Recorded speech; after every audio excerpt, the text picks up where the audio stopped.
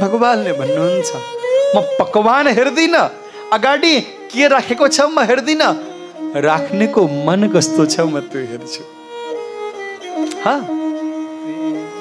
बढ़िया बढ़िया वैष्णवको लड्डु चल्दैन काम महाराज बरु घरमै ढेँडो र गुन्द्रुक बनाए पनि हुन्छ प्रेम चाहियो। मलाई एउटा प्रसङ्ग याद आयो।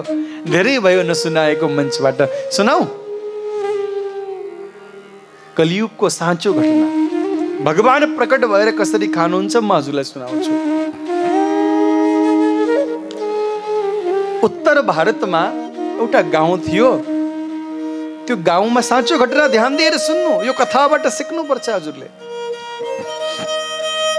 त्यो गाउँमा ब्राह्मण पति पत्नी थिए, दुई भाइ छोरा थिए।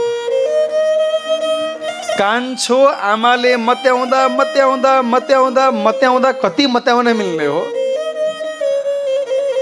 मत्याएर अल्छी एक नम्बरको भएछ। सोझो। सोझो चाहिँ रहेछ।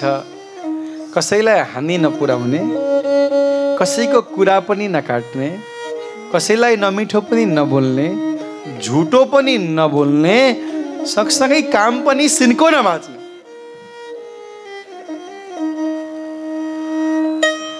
बामा छन्दरी त दाल भात मिठै भात थियो। बामाका सेकेपछि भाउजूले सेक्न थालिन् गरे। तँलाई कामसाम छैन?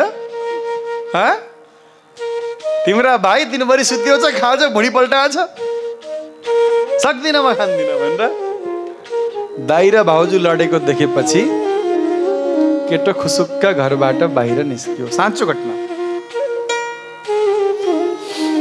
बाहिर निस्केर यसो हिँड्दै गएको अलिक पर। एउटा चाहिँ जङ्गलको छेउमा आश्रम रहेछ। जाडाको महिना घाम ताप्न भनेर आश्रमका मोटा मोटा ती बाबाजीहरू बाहिर बसेका। यसो हेऱ्यो। खाना त यहाँ पाइन्छ जस्तो छ। सबै आउँदै भण्डारा लाउँदै गर्छन्, मिठो मिठो खिर हलुवा खान पाइन्छ आश्रममा।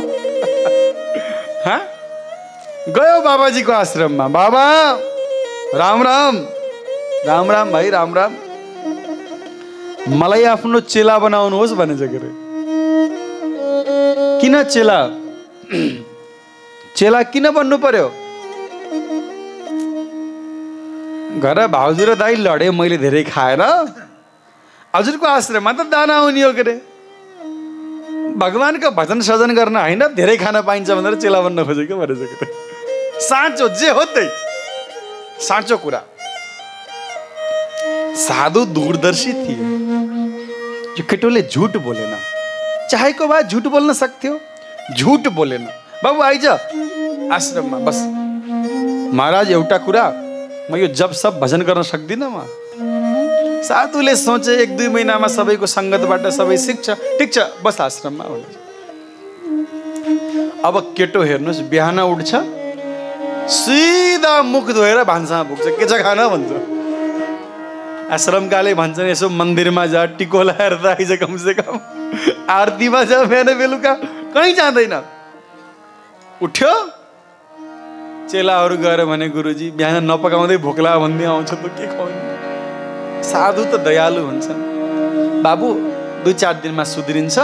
बेलुकाको दुई चारवटा रोटी बचाइदियो। त्यसले खान्छ बिहान बिचरा। प्राणी हो। स्वभाव भयो। संस्कार छैन भनेर। बिहान उठ्यो खायो। एक दिन बिहानै उठेर भान्सामा गएको त भान्सामा आगै बोले छैन पेटमा मुसा दौडिसके भान्सामा आगो बोले छैन। गुरुजी! के बाबु पेटमा भोक छ भान्सामा केही पकाएका छैनन्? गुरुजीले भन्नुभयो बाबु आज एकादशी हो। एकादशीमा आश्रममा केही पाक्दैन आज व्रत गर भोलि बिहानै खाउला।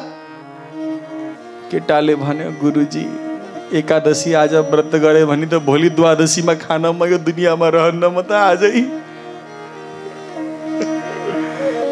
भोलिसम्म बाँच्न सक्दिनँ म त आजै राम नाम सत्य हुन्छ। गुरुजीलाई दया लाग्यो। सोच्नुभयो ठिक छ। बाबु भोजन त बन्दैन। पकाउन आउँछ कि आउँदैन? अब पकाउन त आउँदैन तर पाए त पकाएर खान्थे भोक लागेछ। आश्रममा त खान पाउँदैनौ। यसो कार आधा किलो पिठो लिएर जाऊ दुई तिनवटा आलु लैजाऊ। त्यहाँ नदीको किनारमा पकाऊ खाऊ त्यहीँ भाँडा माझेर बेलुका आऊ तिमीले आश्रममा पकाएर खाऊ भने आश्रमको नियम बिग्रिन्छ। दयालु साधुले शिष्यलाई आधा किलो पिठो देऊ एक मानव पिठो देऊ भनेर पठाए। नुन बेसार आलु एक दुईवटा भाँडा लिएर नदी किनारमा जान थाल्यो। हिँडेपछि पछाडिबाट गुरुजीले ए बाबु हजुर रामजीलाई खुवाएर भोग लगाएर खाएस् नि फेरि बिना भोग खालास एकादशीमा। हुन्छ गुरुजी खुवाएर खामला भनेर। बिचराको जिन्दगीमा नपकाएको अल्छी केटो बल्ल बल्ल बल्ल बल्ल। आलुको रस र मोटा मोटा चार पाँचवटा रोटी बनायो। रोटी बनायो सम्झ्यो। गुरुजीले हिँड्ने बेलामा रामलाई खुवाएर खाएछ भोग लगाएर खाएछ भन्नुभएको थियो। त्यो मन्दिरमा पसे भए पो थाहा हुन्छ कसरी भोग लगाउने हो कसरी चढाउने कसरी खुवाउने। मन्दिरै नपसेकोलाई के थाहा? अब बिचारो यताउता हेर्छ राम आउँदै आउँदैन खान। अब उसले त सोच्यो गुरुजीका राम घुम्दै घुम्दै आउँदैन खाएर कतै जाला न भन्ने सोच्यो बिचरा। अब उसलाई के थाहा? कोही आउँदैन।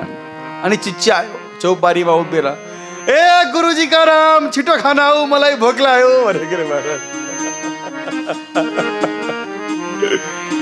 अब त्यो गुरुजीका राम कहाँबाट आउने? सालका पात टिप्यो। दुईटा टपरी बनायो, बिचरा बल्ल बल्ल पात जोड्यो अलिअलि दुई भाग लगायो, एक भाग रामलाई, एक भाग आफूलाई। त हेरेछ मुखमा पानी आएछ भोकले आत्तिहाछ गुरुजीले भनेछ रामलाई नखै नखाएछ राम आउँदैनन्। अनि त्यो जङ्गलमा रामलाई पुकार्न थाल्यो।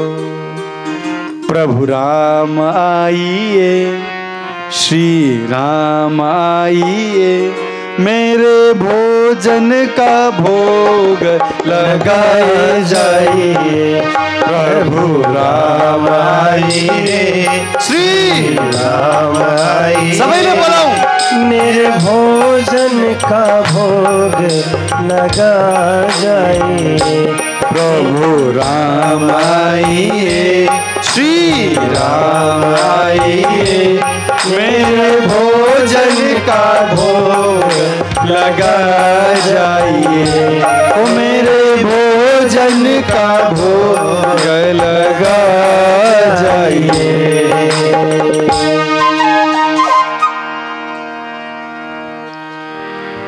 भगवान्लाई श्रीराम आउनुहोस् श्रीराम आउनुहोस् आउँदैनन् के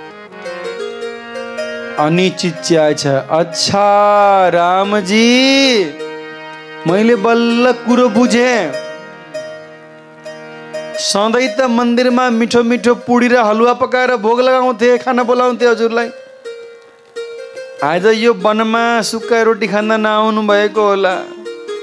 तर सुन गुरुजीका राम त्यो हलुवा पुडीको चक्करमा म पनि नौ बजे उठेको। आगो भुके हैरण्य आश्रममा खानी भए यही आऊ नभए भोकै हुन्छ। ल हेर्नुहोस्। कुरा सामान्य छ तर गहिरो छ।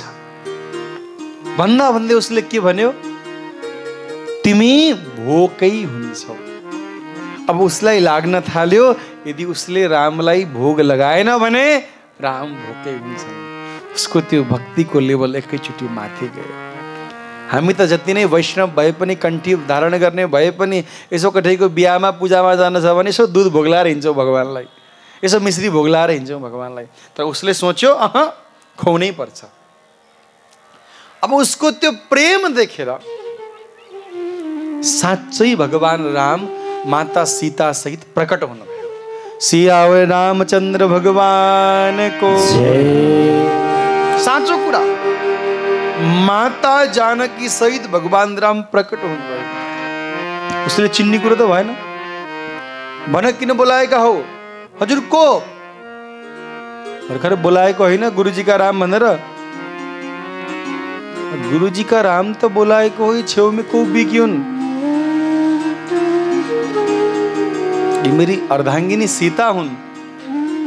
गुरुजीले त भन्नुहुन्थ्यो एउटा भगवान् खाना आउँछन् दुईटा आएछौ मैले थोरै पकाएको छु हाँ? मैले त थोरै पकाएको छु। रामजीले भन्नुभयो पति पत्नी सँगै थियौ तिमीले बोलाइहाल्यौ तिमी भोकाउँछौ भनेर प्रकट भइहाल्यौ। जे छ बाँडी चुडी खाऊ। वास्तवमा हेर्नुहोस् अब एउटा टपरी अरू ल्यायो। अलिकति रामजीलाई खुवायो अलिकति माता सीतालाई खुवायो अलिकति आफूले खायो। सत्य घटना। खायो र हिँड्ने बेलामा भन्यो रामजी म त एकादशी एकादशीमा अब यहाँ नआइ हुँदैन। हजुरलाई नखुवाई गुरुजीले खाना दिनुहुन्न। एउटा कुरा भनौ। रामजीले भन्नुभयो भन न हजुरकी श्रीमती आएर म अघाउन चाहिँ पाइनँ। पेट चाहिँ भरिएन।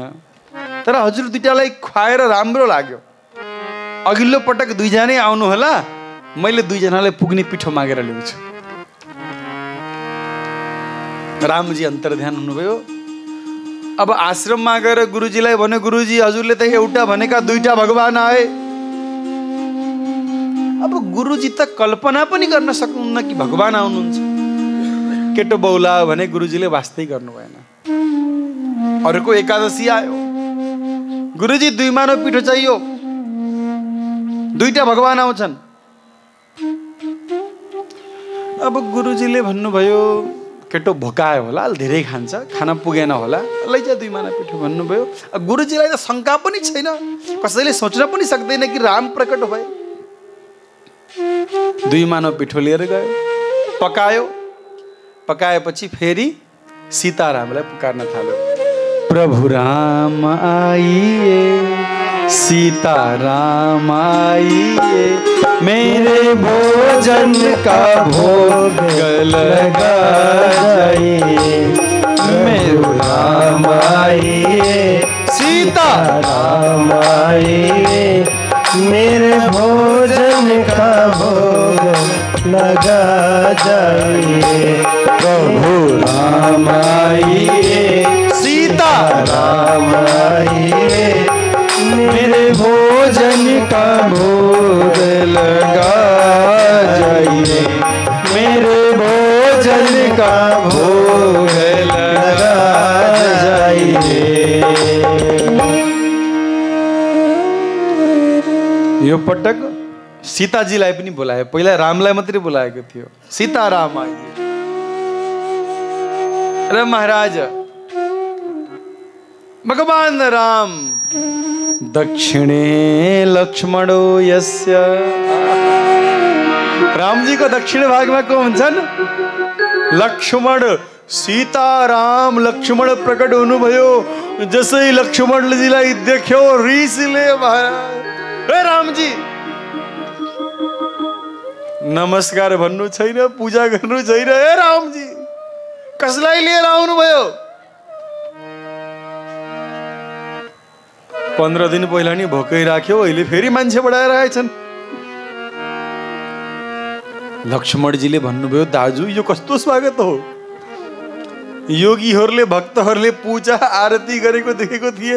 यो नयाँ खालको पूजा पहिलो पटक देख्दैछु। अब रामजीले भन्नुभयो भाववाला भक्त लक्ष्मण शान्त। त रामजीले भन्नुभयो बाबु मेरा भाइ हुन्। नाम लक्ष्मण हो। लक्ष्मणजी एकदम रिसाएर क्रोधित। भाइ त होइनन् होला। हजुर यस्तो हँसिलो मुहारी रिसाएरै छन् अलि।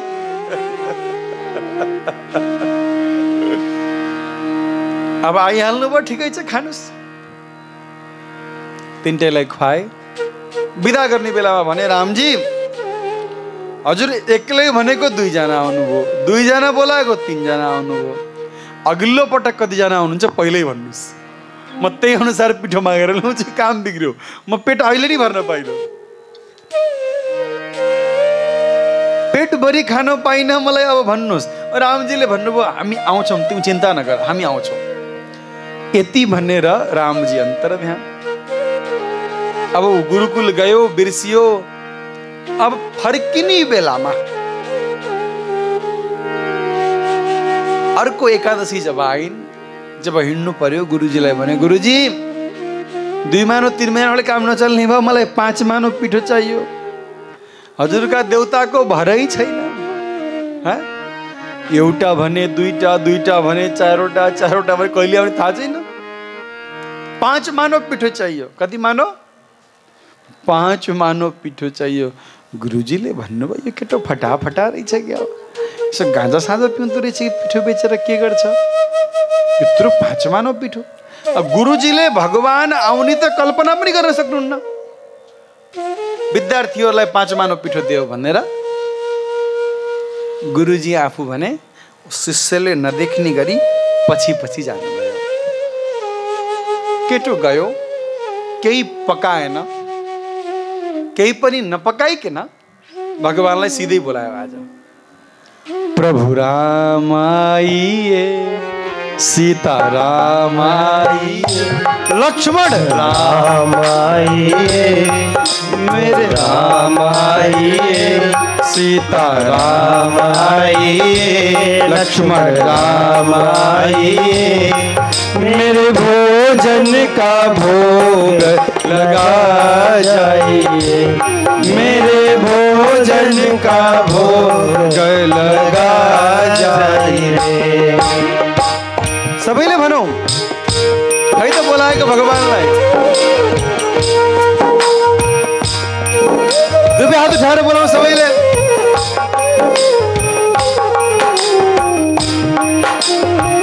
के भन्ने अरे?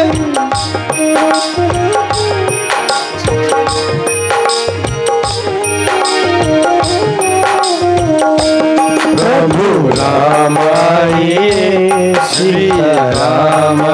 आइए लक्ष्मण राम आइए मेरे भोजन का भोग लगा जाइए मेरे भोजन का भोग लगा जाइए मेरे भोजन का भोग लगा जाइए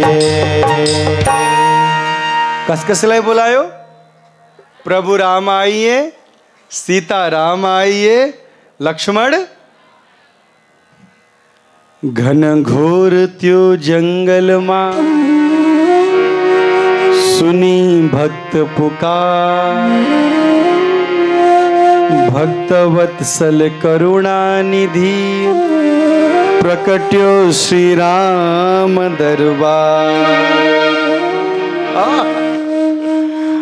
बोले हनुमान जी महाराज। की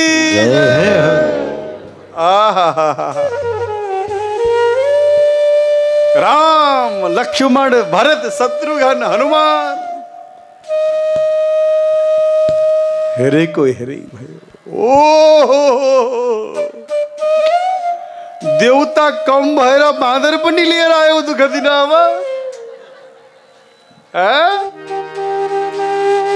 दिनमा हनुमानजीले भन्नुभयो, प्रभु, बडो प्रशंसा गर्दैछ मेरो। रामजी, एउटा कुरा भनौ। हजुर मात्रै बाठो हुनुहुँदैन। म पनि बाठो छु। रामजीले सोध्नुभयो, के बठाइ गरिस् त? आज केही पकाएकै छैन। मलाई थाहा थियो, केही न केही गडबड त गर्छौ। आफै पकाऊ आफै खाऊ यो झन्झटमा म पर्दिनँ आफै पकाऊ आफै खाऊ। अब त महाराज।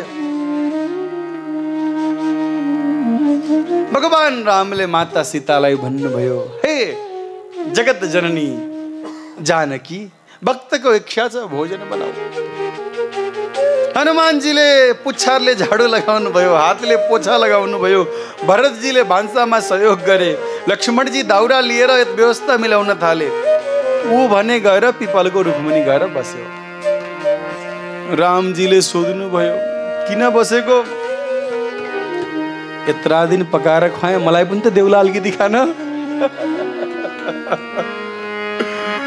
पक्का पनि। अब माता सीता अन्नपूर्णाले भोजन बनाउन लागेको देखेर सब सिद्ध ऋषि मुनिहरू प्रकट भयो त्यही त्यसले टाउकामा हात राख्यो अलिकति पनि नपाइने भयो अब त। यत्र कहाँबाट आयो भाइ? उताबाट गुरुजीले हेरिरहेका छन् पछि पछि आएका गुरुजीले। अब गुरुजीले त कसैलाई पनि देख्नुहुन्न।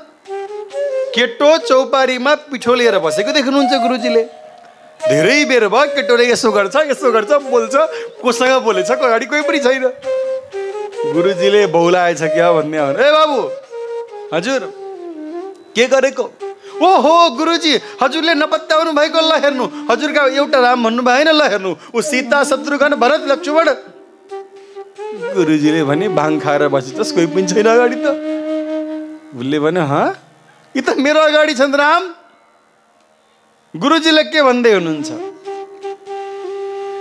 रामजीले भन्नुभयो बाबु मेरो दर्शन तिमीले मात्रै गर्दैछौ गुरुजीले गर्दै छैनन्। गुरुजीले हामीलाई देख्न सक्नुहुन्न। साँचो घटना। गुरुजी हजुरले देख्न सक्नुहुन्न अरे हजुरका रामजीलाई भने? वास्तवमा राम आएका छन्। यदि सत्यमा राम छन् भने रामलाई प्रश्न गर रामसँग प्रश्न गर कि किन तँभन्दा धेरै भजन गर्छु तप गर्छु जप गर्छु यज्ञ गर्छु त त केही पनि गर्दैनस् तैँले देख्ने मैले नदेख्ने किन सोध रामलाई यदि राम हुन् भने पताएका छैन नि गुरुजीले शिष्यले रामलाई प्रश्न गरे गुरुदेव ठिक भन्दै हुनुहुन्छ प्रभु म त न भजन न पूजा न पाठ भन्दा गुरुजीले रोटी खान पठाएको मान्छे हजुरलाई बोलाउँदा हजुर आउने मेरो गुरुजीले यत्रो वर्षदेखि भजन पूजा पाठ गर्दा नआउने किन? नदेखिने किन? भगवान् श्रीरामले भन्नुभयो बाबु तेरो गुरुजीले जप गर्छन् तर जपसँगै त्यो जप गरेको अभिमान गर्छन्। मैले आज यतिमाला जप गरेँ भनेर सुनाउँछन् अरूलाई। तेरो गुरुजीले हवन त गर्छन् यज्ञ त गर्छन्। तर यज्ञ गरेसँगै म श्रेष्ठ हुँ म ज्येष्ठ हुँ म यस्तो यज्ञ गर्छु भनेर अहङ्कार भित्रबाट ल्याउँछन् मान्छेलाई मान्छे गन्दैनन् गुरुकुलमा आएका मान्छेहरूले प्रणाम गर्दा आफूलाई ईश्वर सम्झिन्छन् तिम्रो गुरुजीले गर्ने प्रत्येक कर्मसँग अहङ्कार जोडिएको छ र जहाँ अभिमान हुन्छ त्यहाँ म हुँदिन जहाँ अभिमान त्यहाँ हुँदैनन् भगवान् र जहाँ भगवान् त्यहाँ हुँदैन अभिमान तिम्रा गुरुको प्रत्येक कर्म तिलकसँग मालासँग झोलीसँग कन्ठीसँग हवनसँग नित्य निष्ठासँग प्रत्येक वस्तुसँग अभिमान जोडिएको छ गुरुजीले सब त्यागे घरबार त्यागे परिवार त्यागे संपत्ति त्यागे देवघाट गएर बसे सब त्यागे तर मैले यत्रो त्यागे भन्ने अभिमानलाई त्याग्न सकेन बहुत ठुलो कुरा भन्दैछु ध्यान दिएर सुन्नु होला यत्रो सम्पत्ति थियो यो त्यागे त्यो त्यागे त्यो त्याग गरेको पनि अभिमान त्याग्न सकेनन् महाराज। त्यो अभिमानले गर्दा भगवान् पाएन। गुरुजीले सोचे मेरो चेलोले यस्तो विद्वतापूर्ण बोल्न सक्दैन। पक्का राम छन्। आफ्नो चेलालाई साष्टाङ्ग दण्डवत प्रणाम गरे। चेला त गुरु पो भइ जस्तो हेर्दा हेर्दै बोले श्यावल रामचन्द्र भगवानको जय हो र गुरु फर्केर आश्रम गएनन्। चेला र गुरुले त्यहीँ बसेर भगवान् रामको भजन गरे। सत्य घटना। हामी जे पनि गर्छौँ नि त्यो कर्मसँग जब अभिमान जोडिन्छ म मेरा यजमानसँग पनि भन्न चाहन्छु। मेरो जुन मावली परिवार आज भन्दै हुनुहुन्थ्यो। हजुरले गणेश पुराण गर्नुभयो नि यदि यसको अभिमान भयो भने फल हुँदैन। प्रेम। गणेशको कृपाले गणेशकै प्रेमले गणेशकै प्रसन्नताको लागि गरेको कर्म हो। हजुर जब गर्नुहुन्छ तिलक गर्नुहुन्छ। आजकल त महाराज अब हाम्रो पूजा आजामा धर्ममा अभिमान कति खतराकत छ। अभिमान छ वैरभाव छ ऊभन्दा म श्रेष्ठ उसको भन्दा मेरो तिलक श्रेष्ठ ऊभन्दा मेरो कन्ठी श्रेष्ठ मेरो गुरु श्रेष्ठ यही कुरामा लड्दै लड्दै आजकल थाहा छ। कसैले भगवान्को पूजा गर्दैन, सब आफ्नै पूजा गर्न खोज्छन्, मै ठुलो भन्न खोज्छन्। भगवान्सँग कसैलाई मतलब छैन, मेरो सम्प्रदाय ठुलो, मेरो उपासना पद्धति ठुलो, मेरो यो ठुलो, मेरो ऊ ठुलो। तेर्सो तान्नेले, ठाडो तान्नेलाई केही भन्ला, ठाडो तान्नेले, तेर्सो तान्नेलाई केही भन्ला। यहाँ यस्तो छ महाराज, संसारको स्थिति। अरे, ये सब मेकअप हो डेन्टिङ पेन्टिङ यहाँ छापेर धेरै धेरै छापिँदैन। यहाँ छाप भगवान् छापिन्छन् महाराज। छाप्ने ठाउँ यहाँ हो। के जरुरी छ जरुरी छैन भनेको होइन। म पनि निम्बाको सम्प्रदायबाट दीक्षित छु र मैले तिलक लगाएको छु। लगाउनु पर्छ। प्रारम्भिकरण यात्राको सुरुवात यहीँबाट हुन्छ। बच्चालाई नि त पढ्दाखेरि पहिला ठुलो ठुलो क ख भनेर पढाउनु पर्छ। ऊ बुझ्ने भएपछि त्यो ठुला ठुला क चाहिँदैनन्। उसले आफै शब्द बुझ्छ अक्षर बुझ्छ बोलिदिए मात्र पुग्छ। त्यस्तै चाहिँ यो तिलक कन्ठी झोली माला भनेको त्यो त प्रारम्भिक प्राइमरी क्लास हो। मन्टेश्वरी गएका जस्तो हामी त्यसैले जबसम्म हृदयमा भगवान्को वास हुँदैन र हृदयबाट मधुर बाणी निस्किँदैन अभिमान रहन्छ जीवनमा। तबसम्म न भगवत प्राप्ति हुन्छ न जीवन मुक्ति हुन्छ।